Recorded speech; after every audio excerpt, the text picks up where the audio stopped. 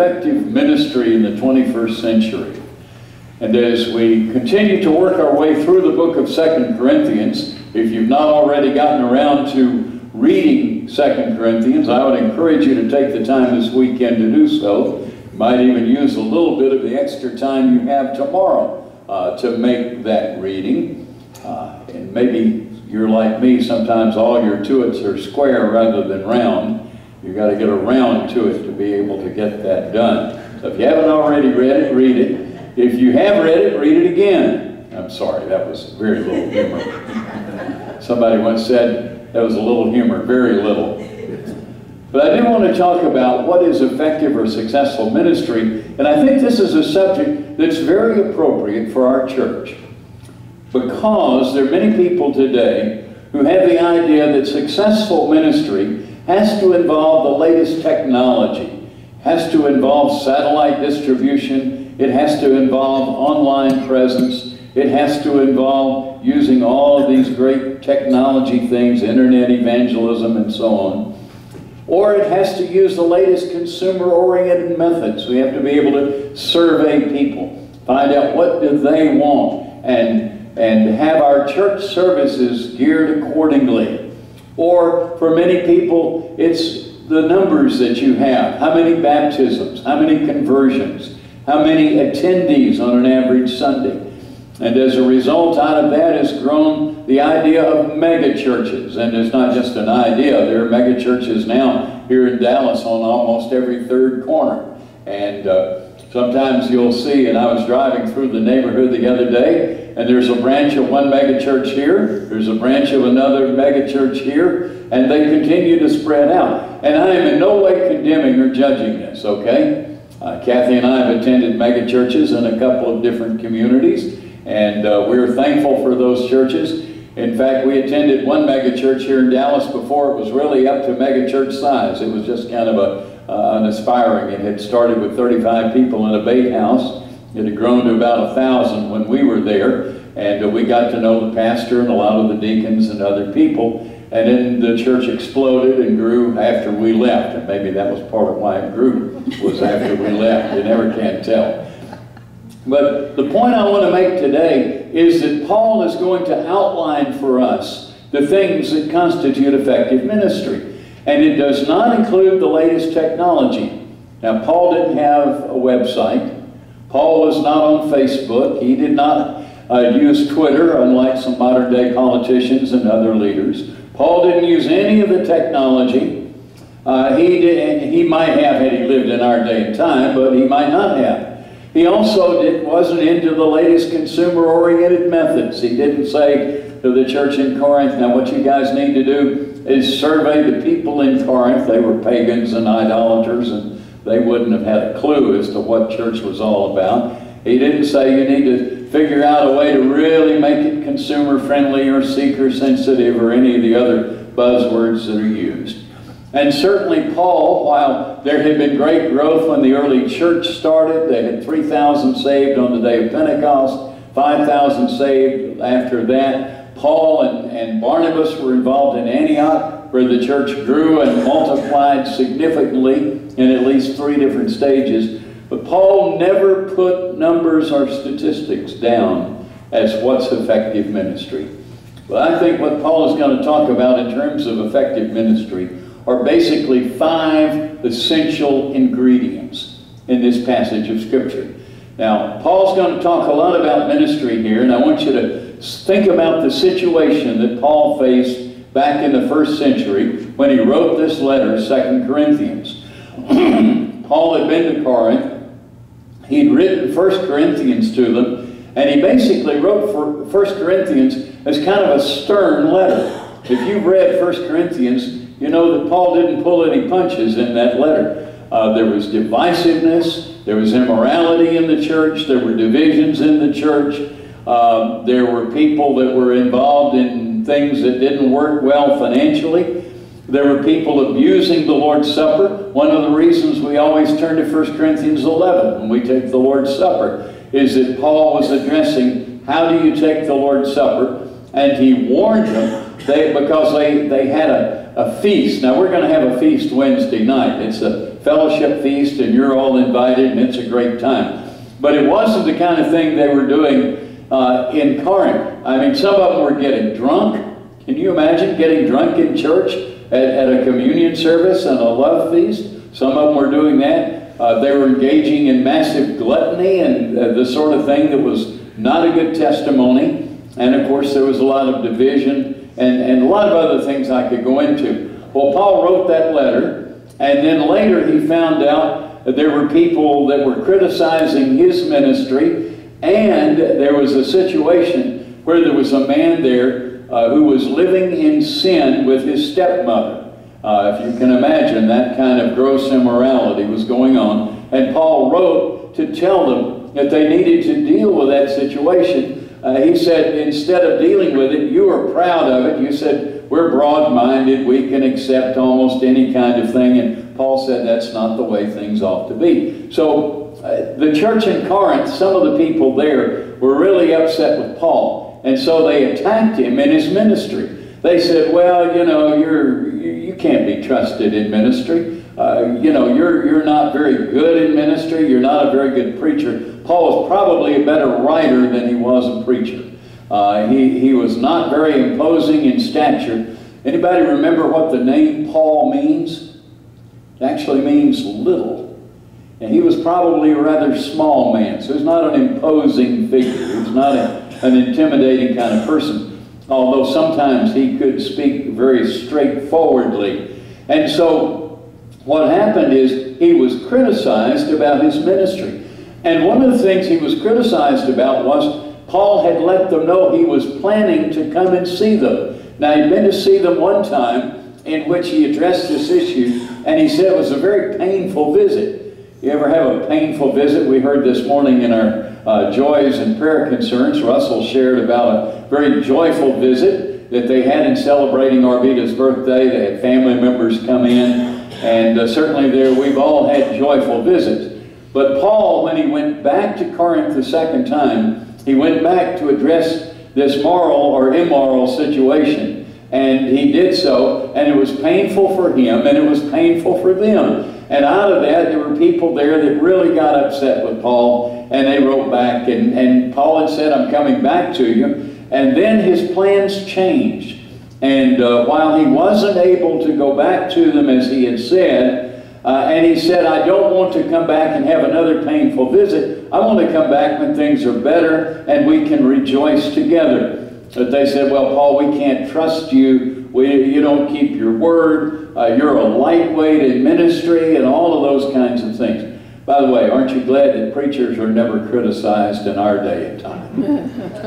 On the other hand, I have personal experience with the fact that preachers have been criticized in our day and time. Thankfully, it hasn't been here, but there have been places where, and, and I know pastors right now, where the pastors are on somebody's blacklist or maybe several people's blacklist in the church. It's just not a good situation. But Paul's going to spell out in this passage what is effective ministry. And I think it can encourage us as a church because I see some of these things in our lives. It can also motivate us as a church to do effective ministry and to continue doing what God has given us to do. Now, what are the implications for ministry today? If you're following in your outline, you'll see some of these things there. If you're not following in your outline, then it'll be on the sticky side of your mind and you'll be able to remember it. Notice Paul goes back in verse uh, 12. And remember, he talked about encouragement in verses 1 through 11. In fact, he mentioned encouragement ten different times in there. And he talked about the source of encouragement is God. Uh, and he talked about the need for encouragement. He was in a situation in Asia Minor where he didn't think he'd survive. We despaired of life. And we had the sentence of death uh, to motivate us to trust in God who raises people from the dead. And he said, you also help together with us. So they provided encouragement, they provided prayer, they provided financial gifts to support him. Then he moves into this whole thing of ministry. What is ministry to be like? In Paul's day and even in our day. First of all, it is to be permeated with integrity. Paul doesn't start with methods. he doesn't start with the message even, although we might have expected that. He says in verse 12, For our boasting is this, the testimony of our conscience, that we conducted ourselves in the world in simplicity. That's the opposite of duplicity. You all know what duplicity is? Yeah, I'm sure you do. Simplicity. Duplicity is when you've been ripped off by a car repair place or somebody selling something or whatever. This is simplicity. And, and the word itself, simplicity, actually had the idea of tested by the sun. Now, back in Paul's day and time, they sold a lot of pottery. And people would go down to the marketplace and they'd buy pottery. And sometimes they'd sell you a piece of pottery that had fallen apart or cracked or had a big crack in it, and they'd put some glue or something on there to hold it together. And you'd get it and you'd take it home, and about the second or third time, you'd put some oil or some beverage or something in it. It would crack, it would fall apart. And you'd say, Boy, I've been ripped off again. And some of you have had that happen with modern day things. Well, what Paul is saying here is we conducted our ministry in a way that you could hold it up to the sunshine like they hold up those pots to the sunlight and make sure there were no cracks in it. There were no issues in it. there were no places where somebody had come along and glued it back together. One of the modern examples I think about is an automobile odometer. Now, I know that uh, some people tell you today that there's no way they can roll back an odometer. But for decades and decades, I've heard stories about cars that where they roll back the odometer. The car maybe had 150,000 miles on it, and they rolled it back to 49.5. Or maybe a car was, um, was located down in Houston about this time last year. You know what happened in Houston about this time last year? Had a little hurricane called Harvey, and almost everything was underwater. And uh, the result of that was they took some cars and they shipped them all to Dallas and Fort Worth and places, other places. They cleaned them up, they dried them out, and they sold them to people. And people buy those nice looking used cars, and pretty soon they start having all kinds of major trouble. What Paul is saying is, we don't conduct ministry that way. Our ministry is permeated with integrity. Now, sometimes people in ministry don't carry out integrity.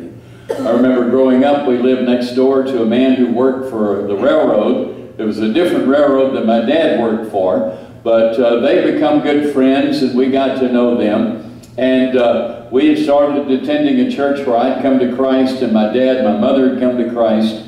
And we invited our friends next door to church. And I'll never forget what the man next door said. He said, does so-and-so attend that church? Yes.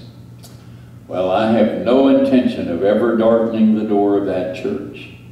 I found out that what had happened is my friend was trying, our next door neighbor was trying to buy a piece of land. And uh, this individual who happened to be one of the leaders, what I think was a deacon, in that church had ripped this guy off. And while he was a very public person in terms of ministering in that church, he was not a person of integrity, and that did great harm to the ministry. I also remember going down to South Louisiana years ago and uh, speaking in a youth conference there, coming back home to Alabama where Kathy and I live, and telling her I don't ever want to be a pastor in South Louisiana because they had had two major failures. Pastors, one of them had left with money, one had left with a woman, not his wife, and the result was churches were in chaos. Now, several years later, God led us, God has a sense of humor. God led us to pastor in South Louisiana, even after I'd said, Lord, you can lead me anywhere but down there. But the bottom line I'm trying to get across is ministry needs to be permeated with integrity. It needs to be saturated with integrity. My friend Warren Wiersbe was with Back to the Bible many years, wrote a book called The Integrity Crisis, in which he talked about this very thing. Simplicity and godly sincerity. You see that word in verse 12? That's another term that has the idea of being held up to the sunlight, being tested in a way that shows the reality, the authenticity of the ministry. And he says, not with fleshly wisdom, but by the grace of God, and more abundantly toward you. And then in verse 13, he says, in our behavior, verse 12, we practiced integrity. Verse 13, he said, in our writing, we practiced integrity. Some of them were saying, oh, Paul, you wrote these letters to the church, and they can't really tell what you mean. They need to kind of read between the lines. And Paul says, no, what you read or understand, what you see is what you get, is how we might paraphrase it. And he said, you've understood us. And verse 14, you are our boast in the Lord. In other words, Paul says, if you look at your own lives, if you look at the way uh, you have come to Christ and the way you have grown, we are a demonstration of the integrity and the reality of your ministry. And the point by application that I would make is that we need to be people of integrity. We need to be people who basically our yes is yes and our no is no. And that's another issue that they get into because Paul said, I wasn't able to come to you on this journey. I made the decision not to. But he said, You accuse me of saying yes and then saying no and, and not being fickle or being fickle, not being consistent. But he says in verse 18, As God is faithful, our word to you was not yes and no. He said, We were committed to being open with you even when our plans had changed. That brings me to the second thing that Paul tells us about ministry in the 21st century or ministry in the first century. Not only was it to be permeated with integrity, it was to be aligned with the Word. Notice what he says in verse 19. For the Son of God, Jesus Christ, who was preached among you by us, by me, Silas, and Timothy, was not yes and no, but in him was yes. For all the promises of God in him are yes, and in him amen to the glory of God through us. What Paul is saying is we practiced integrity because that's the message that we get from the Bible, from the person of Jesus. And remember, Jesus looked his bitterest enemies in the eye in John 8, 46 and said, which of you can convict me of one single sin? And the answer was they couldn't. He had lived a life of perfection. Now, none of us, including people in ministry, are perfect, okay? You need to understand it. Very important. Uh, you've not had perfect pastors in the past. You don't have a perfect interim pastor in the present. You can ask my wife if you're not sure about that. You can ask my kids. Or will you ever have a perfect pastor, no matter who he is or where he comes from? The bottom line is none of us is perfect. But we are to live lives of integrity, and we are to live lives that are aligned with the Word of God. And our message is to be aligned with the Word of God. It is vitally important that whatever we preach, whatever we teach, that it communicate God's Word and it communicate the living Word, Jesus. Notice that's where Paul starts in verse 19. For the Son of God, Jesus Christ, who was preached among you by us. Now back in 1 Corinthians chapter 2 and verse 2, Paul was instructing them about their divisions. They had four different, you might call them political parties in the church in Corinth. Some were saying, I'm of Paul, he's our guy. Others were saying, I'm of Apollos, he's a smooth talking, great preacher, orator. Some were saying, I'm of Peter, he's the rock, he's the original uh, rock on which the church was to be built. And then there were the fourth group, they said, we're of Christ. You guys are all less spiritual than we are because we're following Christ. And Paul says, look, I determined, this is 1 Corinthians 2 and verse 2, I determined not to know anything among you except Jesus Christ and Him crucified. Our message focuses on the Lord Jesus Christ. One of the reasons that we embrace the name Wylie First Christian Church the word Christian means that we represent Christ. It means that we follow Christ. It means that we're committed to Christ. And that's what Paul is saying to this church. He's saying that Christ is our focus. Our message is Christ died for our sins according to the Scriptures. He was buried, proved that he died. He rose again from the dead the third day according to the Scriptures. And he was seen by eyewitnesses, proof that he was raised from the dead. Our gospel message is wrapped up in Jesus Christ, and it is aligned with the Word of God. Notice what he goes on to say in verse 20 For all the promises of God in him are yes, and in him amen, to the glory of God through us. In other words, every part of Scripture is trustworthy. Every part of Scripture is valid. Every part of Scripture is to be accepted and embraced. And we can say amen to every part of Scripture. Now, you don't say amen to something you don't agree with or don't believe in. I saw a few people saying amen after Jim sang the solo earlier today. And uh, I whispered amen under my breath. I didn't want to be too loud with it. But uh, when you agree with something, you say amen. And that's what Paul is saying here. We are to say amen. We are to agree with every part of Scripture. It's not up to us to arbitrarily choose. Now, I know organizations and denominations and groups that pick and choose. They believe this part of Scripture, but they don't accept this part. They say this part is uh, maybe out of date, this part is okay. Uh, that's not valid. We are to be committed to biblical truth, aligned with the Word of God, and effective ministry in our day as in Paul's day was to be that way. That brings me to the third element of effective ministry. It is not only to be permeated with integrity and to be aligned with the Scripture, it is to be empowered by the Spirit of God. Notice he goes on to say in verse 22, he said, uh, verse 21, he's already said the promises of God we can trust. Verse 21, now he who establishes us with you in Christ and has anointed us as God, who has also sealed us and given us the Spirit in our hearts as a guarantee. And what Paul is doing here is tying his own ministry back into the power of the Spirit of God. And he mentions four specific things. It's interesting, this word for empowered is a big term that people love today. In fact, in business and organizations and motivation, people talk about empowerment and being empowered.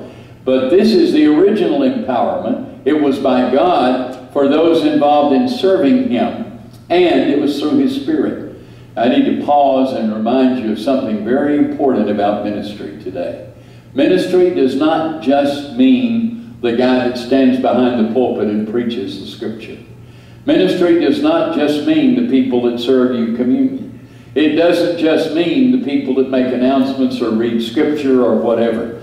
Ministry is something that simply is service to God and to people and guess what percentage of Christians are to be involved in that kind of ministry? 100%. Every single one. You say, well, I've not been ordained as a deacon. I've not been ordained as an elder. I'm not a deaconess. But the reality is, you still are involved in serving God. you remember the time that Jesus said, the person that delivers a cup of cold water will in no way lose his reward. I'll give you an example. This happened to me last week, but it could very well have happened to any of you. How many of you at least once every month or so go get your hair cut or done? Let me see your hands. Yeah, it's like a Baptist business meeting. It's almost unanimous. And those of you who don't, uh, maybe you want to sign up and get it done. So I went to the barber. Um, and I walked in and my barber came up. She's a lady that's done my hair for a long time. And she's done Kathy. She's the lady that I requested prayer for this morning, Alex. And uh, I could tell that there was something that she was distraught about. And instead of taking me back to get my hair cut, as she usually does, she sat down in the chair next to me and she began to tell me about what had happened the past week. On Monday, her father, who had had cancer, had unexpectedly died. And so there I was in a situation, and you could be in this situation as well, where I could be of encouragement and ministry to her on the spot. I didn't have to say, you know, let me get somebody who's a clergyman to come see. I didn't have to say, I need to, uh, to be able to get you into a church building so you can be ministered to. Uh, those things are okay. But the bottom line is, all of us face situations like that where we can be an encouragement, where we can be a ministry to people, and the Holy Spirit has empowered us. And that's what he's saying here. He first of all says, God established us. And that word established is the idea of a business guarantee. In fact, that word was used in first century literature when there was a transaction, a piece of property was sold, or a, an item was sold, and there was a guarantee along with that sale. We sometimes call those warranties today. You buy a car, you want to know, does it have a warranty? Does it have 10 years and 100,000 miles on the powertrain? Does it have two years and 24,000 miles on everything else? What does it have? You want to know. And that word here indicates that God guarantees that He's going to empower us for ministry. So this week, if you go to the barber shop or the beauty shop, and the person that's going to cut your hair or do your hair comes out and says, I've been through a terrible time, what are you going to do? You're going to say, well, I wish I could help you, but I'll have to call Pastor Donna. You're in a position where God has empowered and will empower you to be of help to that person. Maybe you go to work and you discover that one of your colleagues at work is going through a very difficult time, you can be of service to that person. You can be of help to that person. Not only has God guaranteed us, He has anointed us. And if you go back and take the time, and we won't go into all the details today, but in the Old Testament, when people were anointed, it was for service to God. Kings were anointed, prophets were anointed, priests were anointed. Now you go back and you look and you'll see that King David was anointed. You'll see that prophets were anointed. Uh, Elijah and Elisha give an example of that. And priests were anointed. Um, Eli had been anointed. Samuel. Uh, so the reality is anointing in the Old Testament foreshadowed what God has done with His Holy Spirit. He has anointed us to empower us for service. And then he goes on to say he has sealed us and given us the Spirit in our hearts as a guarantee. You are indwelt by the Spirit of God. Romans 8 9 says that every single believer has the Spirit of God living within him. Now, if we don't obey God, if we don't listen to the Spirit, we don't walk by the Word and walk by the Spirit, we grieve the Spirit. You know, we make him unhappy. But he lives within us. And one of the major reasons is to empower us to serve God, to share the gospel, to communicate God's word, to be an encouragement, or as Jesus said, to deliver a cup of cold water in Jesus' name. Okay, ministry, for God's sake, that's successful, permeated with integrity, aligned with the Scripture, empowered by the Spirit. Fourth thing is characterized by cooperation. Look down in verse 4. 24 rather. They had accused Paul of being a real dominating kind of person. And I know that in ministry there have been preachers who've been real dominating and tyrannical in their ministry. Paul says, Not that we have dominion over your faith, but as fellow workers for your joy, for by faith you stand. Paul says, We're in this together. We're serving God together. We all have the privilege of serving Him. It is a team situation. I was watching my favorite football team play uh, last night. They did fairly well. They won 51 to 14. Hopefully will continue in their number one ranking. Uh, but one of the things that struck me is the fact that it is a team sport. There's not just one person, and this will be true of your team. This will be true of anybody's favorite team. Uh, Dallas Cowboys is true of them is true of any sport, that it is a cooperative situation. It is not a single superstar who brings about the victory. In fact, it's very interesting that this past year in basketball, uh, the team that won the basketball game was the gold, uh, the championship was the Golden State Warriors, who had a large number of people who learned to play together. Uh, they were going up against uh, the Cleveland Cavaliers, who had one major superstar who was probably the best player in the league, maybe the best player of all time, uh, LeBron James, and, uh, and yet the team was able to get the victory over the individual.